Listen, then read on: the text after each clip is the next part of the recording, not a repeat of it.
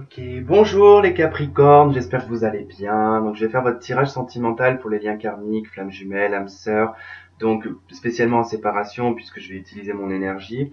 Euh, J'essayerai de faire d'autres tirages sur d'autres thèmes puisqu'on m'a demandé un petit peu voilà sur certains thèmes, donc peut-être que je le ferai si j'ai le temps. Euh, de toute façon, je suis en train de voilà de réorganiser certaines choses et puis euh, quand je serai bien organisé, euh, je ferai des choses différentes. Donc ce tirage il est pour le mois d'avril 2019 qui va s'étendre jusqu'à juin parce que tout dépend de la vitesse où on avance. Euh, donc c'est un tirage général bien sûr, donc il est pour les signes solaires ascendant lunaire et en Vénus. Euh, donc n'hésitez pas à aller voir votre ascendant et le reste hein, si ça résonne pas avec vous. Et donc n'oubliez pas c'est général, donc ça va plutôt parler au collectif. Et, euh, et voilà, si vous n'avez pas de message, c'est que j'en aurai pas pour vous aujourd'hui. Si vous avez besoin d'une consultation privée euh, avec moi, donc vous me consultez donc à mon adresse email qui doit être par là ou en bas. Ça dépend, je sais pas où je vais la, où je vais la mettre. J'allais dire où je vais la foutre, mais euh, parlons poliment quand même. Donc euh, voilà, elle sera par là, donc n'hésitez pas à me contacter par email euh, si vous avez besoin d'une consultation. J'ai toujours pas rangé en fait mon tas de tout à l'heure. je viens de m'en rendre compte. Ok. c'est génial. Je vais pas recommencer le début, hein, de toute façon de la vidéo, c'est pas grave. Vous me connaissez maintenant. C'est bien qu'un peu Tristan il est des fois parfois zinzin. Euh, donc allez, c'est parti. On y va pour Capricorne pour le mois d'avril 2019, s'il vous plaît, pour les liens karmiques, flammes jumelles, hamster, Qu'est-ce qui s'est passé?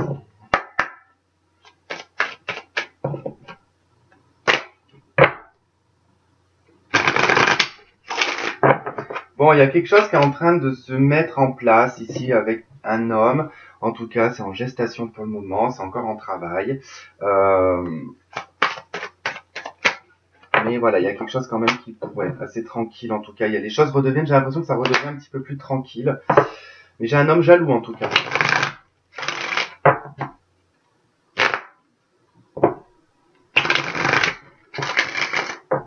Alors cet homme pourrait être jaloux de vos amitiés, euh, pourrait être jaloux d'un ami en particulier par exemple, euh, avec qui vous êtes proche. Euh, voilà, donc peut-être que c'est peut-être ce qui crée l'éloignement en tout cas. Mais c'est une personne voilà qui est assez jaloux. Ou alors il a vent par des amis, en tout cas de ce que vous faites, et ça le rend jaloux.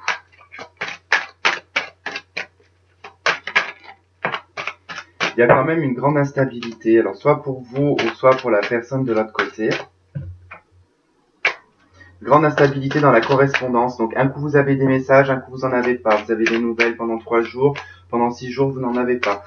Voilà, donc c'est un petit peu ça, l'instabilité dans, dans la correspondance. Hein. Ok, vous le voyez un petit peu comme un échec en fait.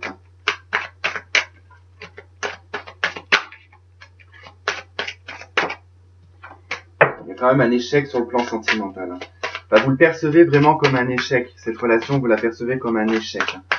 Parce qu'effectivement, il y a eu un échec dès le départ. Il y a de la joie quand même qui revient.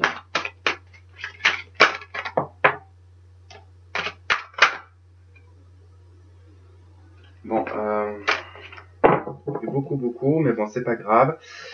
Euh, donc, ok, il y a quelque chose qui devient un petit peu plus clairvoyant, en tout cas sur un contrat, sur une hérédité, en tout cas sur une évolution la garde de l'hérédité, c'est quand même aussi un lien de famille, mais c'est aussi voilà de créer euh, sa propre hérédité aussi. Hein.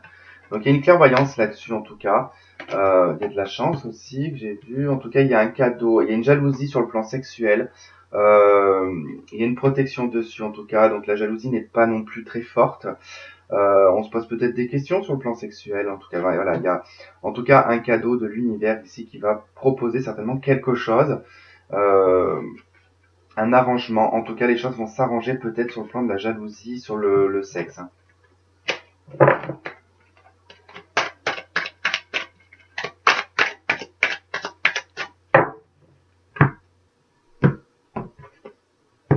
Jalousie. Victoire. Réunion. Ok.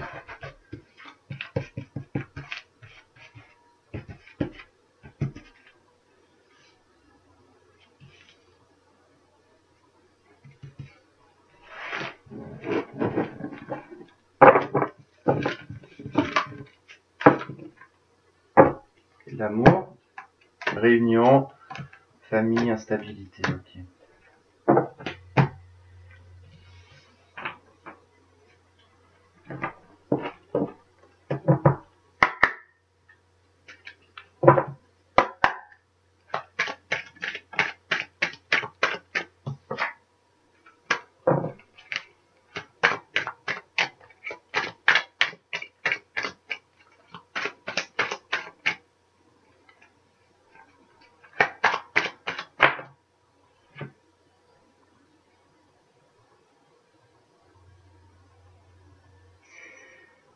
Il y a des projets, il y projets qui sont pas aboutis. comme si qu'on n'allait jamais au bout en fait d'un projet où on va jamais au bout de quelque chose. En tout cas, il y a quand même de la paix dessus. Hein. C'est quand même bien vécu, mais il y a quelque chose ouais qui va pas au bout à chaque fois. Le projet ne n'éclot pas en fait. Il y a un truc qui, qui, qui arrive pas à éclore en fait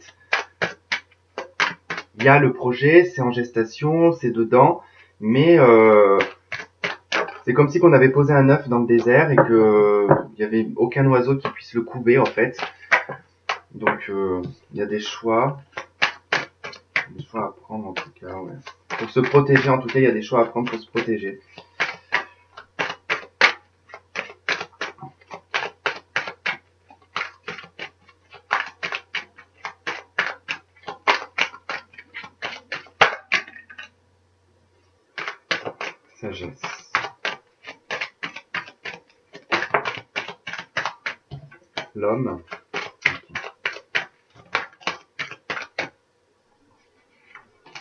La science, donc un homme.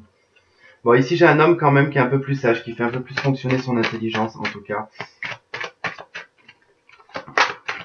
Qui a réussi peut-être à s'aligner entre l'aspect mental et euh, l'aspect du cœur.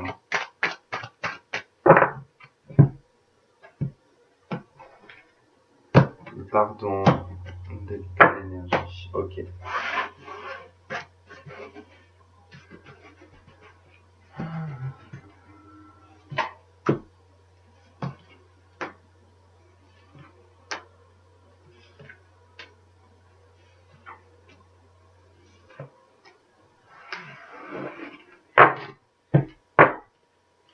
Bénédiction. Ok, bon, on va déjà regarder ça. Alors, l'enfermement, la naissance, le doute. Ok, ce qui m'étonne absolument pas, c'est exactement la même chose. Alors, euh, l'enfermement, effectivement, cette carte de l'enfermement, elle n'est pas forcément négative. On voit bien que cette personne ici, elle est recroquevillée sur elle-même. Elle a quand même de la lumière dans sa petite grotte, hein, donc elle n'est pas dans le noir. Hein. Elle note ses jours hein, au fur et à mesure, même que d'ailleurs, on voit qu'elle en a tellement mis que du coup, bah, bah, on voit même plus le nombre de traits qu'elle a mis. En tout cas, on voit que ça fait un certain temps que ça dure. On a quand même ce panneau vert hein, qui, peut marquer ici le fait que le, chakra du cœur soit touché. En tout cas, euh, quelque chose est mis en projet, quelque chose avait peut-être été mis en projet, peut-être qu'on avait commencé quelque chose. En tout cas, qui n'a pas abouti, comme je disais, hein, comme si on avait posé un œuf dans un désert, hein, l'œuf n'éclot pas. Euh, donc du coup, c'est vrai qu'on a beaucoup de doutes concernant peut-être une relation, concernant notre autre. Euh, on se sent peut-être un petit peu enfermé, et pourtant on a quand même le sentiment de projet, on a quand même le sentiment de pouvoir faire naître quelque chose.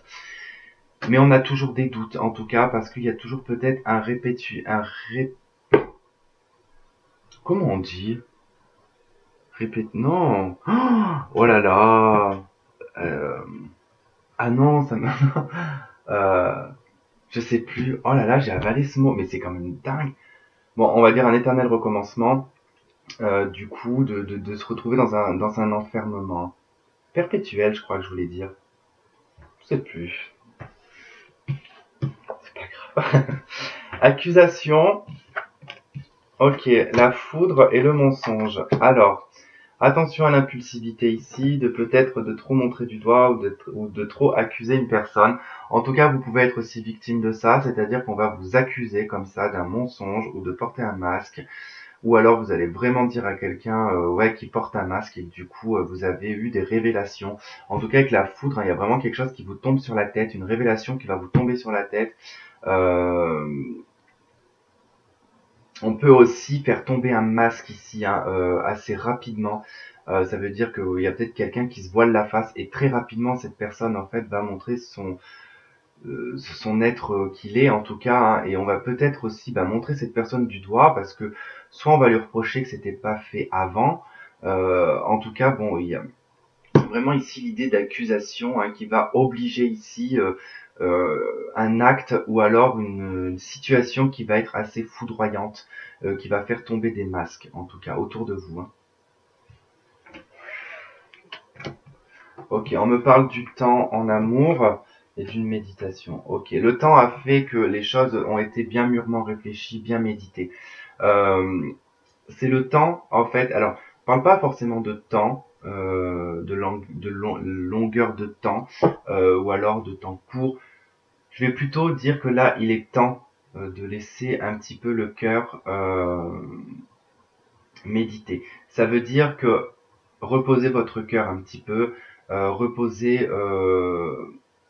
les choses ont été peut-être un petit peu chaotiques pendant une période pour certaines personnes et que là il est temps de faire reposer votre cœur. C'est dans la méditation de toute façon que vous allez soigner votre cœur. Euh, peu importe le temps que ça prendra, c'est vous qui allez décider de quand vous allez être, vous trouverez en fait le sentiment de quand vous allez être guéri, euh, vous le ressentirez de toute façon. Mais c'est vrai que il y a aussi peut-être une forme de, protection aussi au niveau du cœur, euh, ce qui veut dire que voilà, on a beaucoup médité sur le, sentimental, on a et peut-être que maintenant on sait se protéger de certaines choses et on agit peut-être de façon différente aussi. C'est possible. Sur le plan du cœur, on agit peut-être différemment. En tout cas, c'est très communicatif ce, ce jeu. Allez.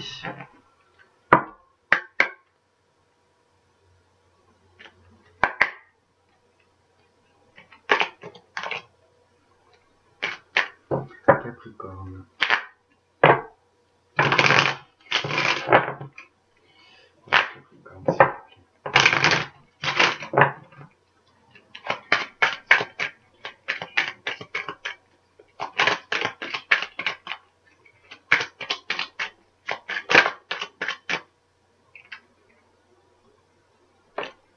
Des décisions à prendre avec l'âme, avec le cœur aussi.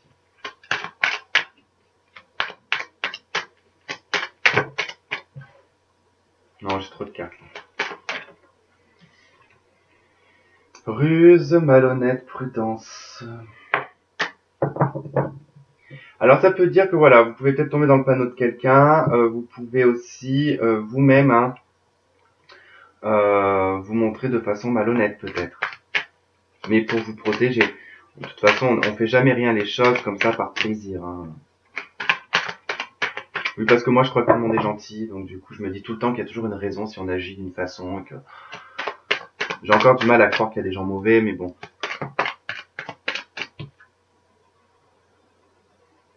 Une épreuve, une difficulté.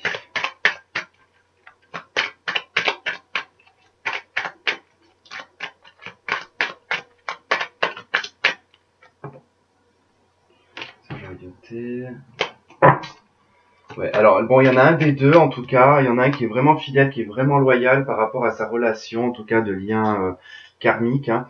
Euh, c'est euh, vous, vous êtes vraiment dans la fidélité en tout cas. Il y en a un des deux qui est vraiment dans la fidélité. Mais il y a, y a encore des blessures en tout cas. il y a encore des plaies. Hein.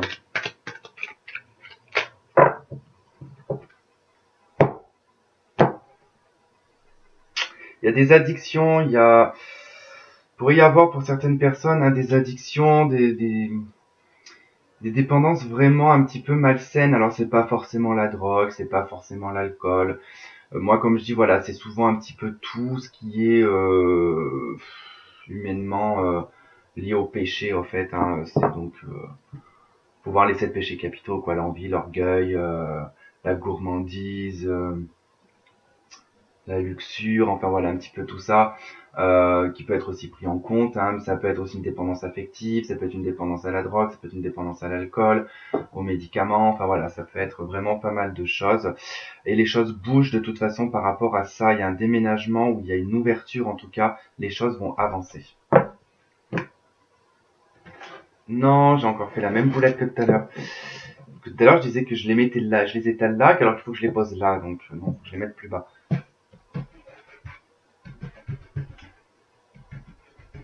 C'est parce que normalement, quand j'ai quelqu'un en face de moi, je l'étale là. Et après, je, il me donne ses cartes.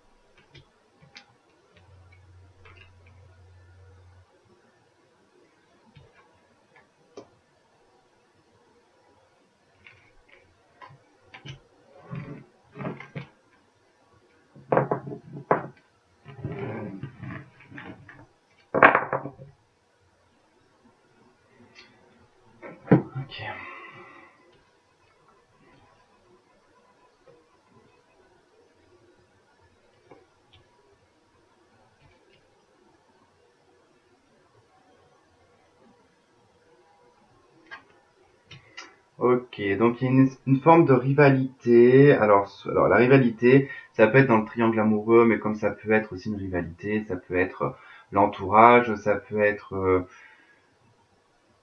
pardon, je baille. L'entourage, la famille, en tout cas, c'est quelque chose qui, voilà, met euh, en tout cas le, la relation en, euh, en difficulté. Ok, ça apporte de toute façon une blessure tout ça. Hein. il se peut que voilà, que certaines personnes ont été en triangle amoureux, en tout cas voilà, ça a juste apporté du chagrin, des pleurs. en tout cas, le cœur ici, il est blessé. Hein. Donc il y a eu une période de lâcher prise, en tout cas, euh, de détachement. Alors peut-être que c'était avec un balance scorpion ou sagittaire, euh, ou tout comme ça peut être là sur l'automne dernier, en tout cas que ça a été vécu. Ok, il y avait une personne assez malhonnête, en tout cas. Euh, il s'est pas comporté. Alors, c'est pas dire qu'il est mauvais ou méchant, en tout cas, mais il y a eu un comportement assez malhonnête, en tout cas sur l'automne peut-être. Euh, concernant votre relation en tout cas parce qu'on parle bien de voilà de, de la relation karmique ici hein, euh, mais que voilà une personne a été quand même relativement malhonnête. Mais vous avez fait un lâcher prise dessus en tout cas. Il y a eu une séparation en tout cas pendant cette période là euh, alors peut-être avec alors soit comme je disais balance scorpion sagittaire ou alors cancer lion et vierge euh, en tout cas, donc ça se peut que sur l'été, il y ait quelque chose qui change. En tout cas, l'atmosphère sera beaucoup plus détendue. Ok, il y a une nouvelle personne qui arrive dans votre vie. Alors, ça peut être une nouvelle personne qui rentre dans votre vie ou ça peut être votre autre qui change d'énergie. En tout cas, sera perçu ici comme une nouvelle personne. Il y a une guérison. Ok. Tout comme il se peut que vous fassiez aussi pour certaines personnes la rencontre d'une nouvelle personne, mais qui sera par contre euh, une personne relativement malhonnête. Hein. Euh, en tout cas, il y a un équilibre, il y a une guérison par rapport au lien karmique. Hein. On me dit qu'il faut être à l'écoute de vous. Hein. Si vous avez une réponse, en tout cas à l'intérieur de vous, au plus profond de vous-même, la réponse elle est oui. Vous avez beaucoup de doutes, vous doutez énormément. Hein. En tout cas, par rapport aux doutes que vous vous faites, vous pouvez vous dire que c'est positif sur ce que vous pensez. Il y a une grande protection. Ok, il y a une crise en tout cas. Alors suite à une crise, hein, certainement, je pense que voilà, il y a beaucoup de confusion, beaucoup de doutes euh, concernant une crise en tout cas dont il a fallu réagir assez vite. Euh, et du coup, oui, vous faites les choses dans le dans le bon ordre en tout cas.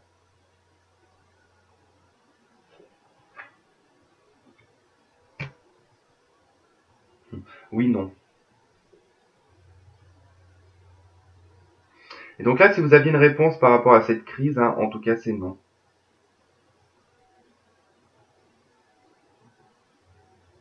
En tout cas, c'est non.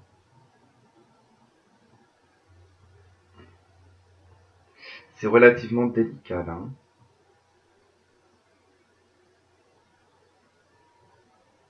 Mais le nom, tout simplement, je vais vous dire en fait moi comment je le vois là. Euh, là, on a cette carte hein, de la crise du burn-out. Hein. Euh, il faut se faire aider. Il faut réagir, se faire aider, c'est écrit. Hein. je pense que la personne qui doit se faire aider et réagir n'en a absolument pas envie, au fait. N'en a absolument pas envie.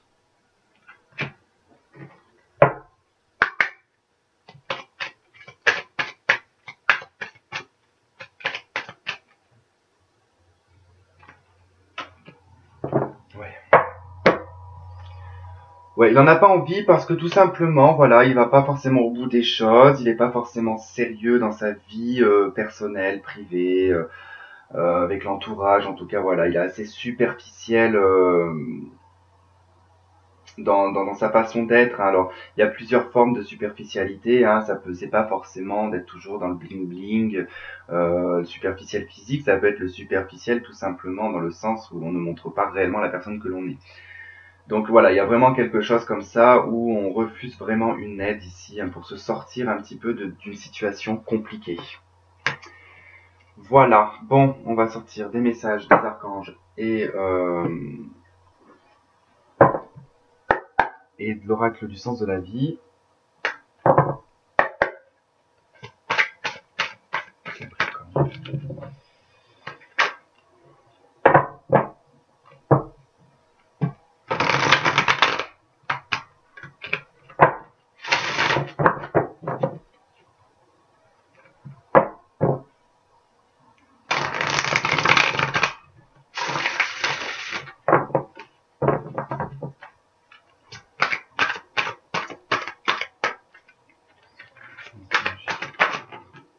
Parfait. Allez. Et hop, c'est très bien aussi. 10 de Raphaël. Hum, hum, hum. Alors, donc on a... Bon, je le dirai après. Je vais d'abord sortir celle-là aussi.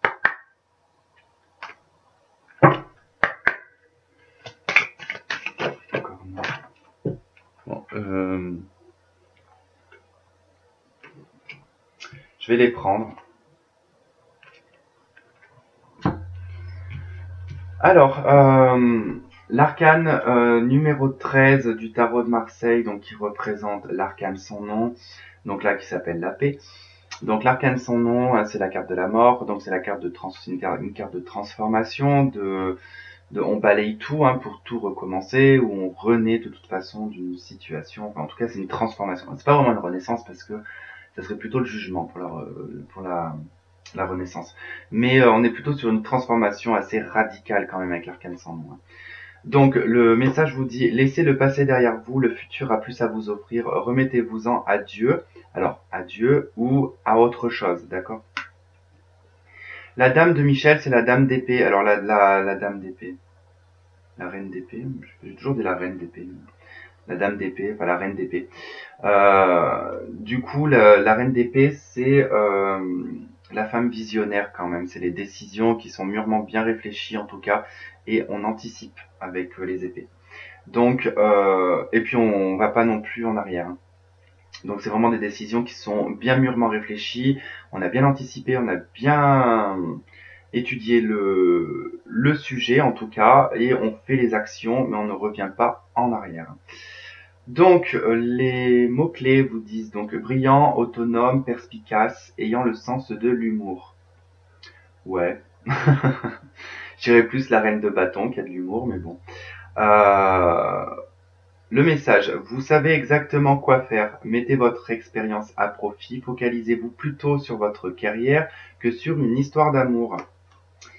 Donc voilà, je pense que voilà, il y a une transformation peut-être d'ordre professionnel pour vous, euh, mais que peut-être que vous jonglez aussi euh, avec votre relation euh, affective, hein, en tout cas où elle vous prend beaucoup d'énergie, parce que vous êtes peut-être en séparation et que ça vous pèse beaucoup. du coup, on vous dit voilà, lâchez prise, il faut vraiment vous remettre sur votre route de la carrière, en tout cas, et de faire avancer les choses. Hein. Et dans l'oracle du sens de la vie, donc j'en ai eu deux. Donc j'ai eu la carte protégée et la carte il est temps de décider. Donc le message vous dit, vous êtes protégé et appuyé par vos changements professionnels. D'accord? Là, on est bien en résonance quand même avec cette carte. Euh, il y a des changements pro pour certaines personnes. Euh, en d'autres paquets, j'ai quand même euh, la carte maître spirituel. vous guérissez grâce à vos cours et séances de séminaire. Bon, c'est pas non plus une obligation, mais il se pourrait qu'il y ait certaines personnes, alors soit qui décident de rentrer dans une religion, par exemple, ou dans un, euh, dans une, oh zut, comment on appelle ça euh, Je vais dire un mode de vie spirituel, hein, d'accord, bouddhiste. Alors, soyons bien d'accord, on a classé le, bouddhisme en religion, ce n'est pas une religion, hein. c'est un mode de vie, c'est une façon de vivre. Pour les pour les pays asiatiques, la religion c'est hindou. Donc rien à voir.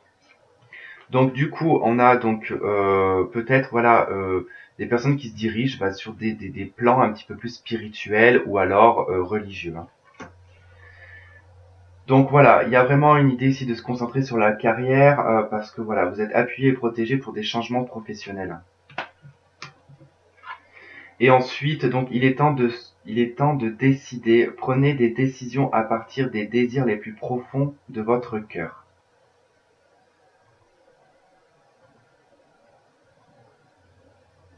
Alors, c'est la première fois que je fais, gaffe à cette carte. J'avais jamais vu qu'il y avait plein de numéros de partout, en fait. Alors, peut-être qu'il y en a qui, sont peut-être dans la numérologie. Possible. Les chiffres vous disent peut-être quelque chose. Peut-être que vous communiquez beaucoup avec les chiffres aussi. Peut-être que vous voyez aussi peut-être des heures miroirs ou des heures jumelles. Donc si vous savez pas ce que c'est les heures miroirs et les heures jumelles, je pense que vous savez au moins l'un des deux. Vous avez les heures, l'heure jumelle et l'heure miroir. Donc c'est comme quand vous mettez un miroir au milieu en fait. Donc par exemple euh, pour 15 heures euh, en heure miroir, par exemple 15 heures, euh, ça sera 15h51. Ça c'est une heure miroir. Une heure jumelle c'est 15h15. Voilà les Capricornes, et eh ben écoutez, je vous souhaite de passer un très bon mois de, un très bon printemps déjà, un très bon mois d'avril, et puis on se retrouve euh, peut-être pour d'autres tirages sur d'autres thèmes, ou alors euh, le mois prochain, on verra bien de toute façon, suivant comment je m'organise.